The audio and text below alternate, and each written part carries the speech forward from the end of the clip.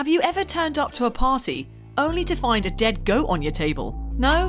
Well, then you didn't attend the official launch event for God of War 2 in 2007. In order to promote the game, Sony hosted a launch party in Athens where the game was set. When guests arrived, they were horrified to find a decapitated goat carcass on a table.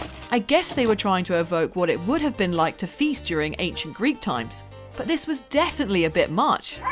There had been reports that guests were invited to eat from the carcass itself, although Sony clarified this wasn't the case and instead they were offered a traditional meat soup.